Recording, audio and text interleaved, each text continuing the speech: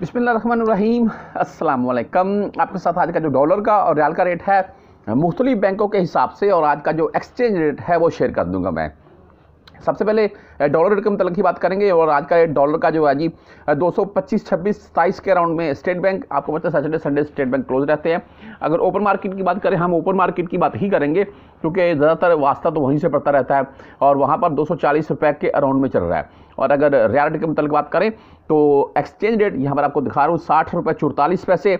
And अगर पाकिस्तान की अगर बात करें तो आपको पैंसठ रुपये या पैंसठ रुपये प्लस में यहाँ मार्केट में। वो बोलते हैं, ये करेंसी नहीं है, हम क्या करें? आगे से ये बोल देते हैं।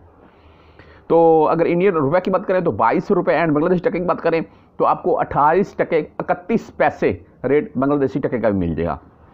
मुख्तलि बैंकों के हिसाब से भी आपको बता देता हूँ, मैं सबसे पहले वेस्टर्न यूनियन उनासठ रुपये बासठ पैसे आज का रेट और तेईस रियाल इनकी फ़ीस होती है। एंड मनीग्राम की बात करें तो आपको उनासठ रुपये सत्तर पैसे आज का रेट और तेईस रियाल इनकी भी फ़ीस होती है। अगर बात करें टेलीमनी यानी कि ए एन बी बैंक की बात ए एन बी बैंक की बात तो इनका रेट आज का उनासठ रुपये पचपन पैसे और पंद्रह एंड सत्रह रियाल इनकी भी फ़ीस होती है। तहवील अल राजीव बैंक की बात करें, सबका फेवरेट होता है ये, वैसे ये। तो इनका रेट आज का उनासठ रुपये चालीस पैसे है जी, और दस सत्रह एंड पच्चीस रियाल इनकी भी फ़ीस है। अगर एस टी सी पे की बात करें तो आपको उनासठ रुपये पैंसठ पैसे आज का रेट मिलेगा और सत्रह रियाल इनकी भी फ़ीस होती है।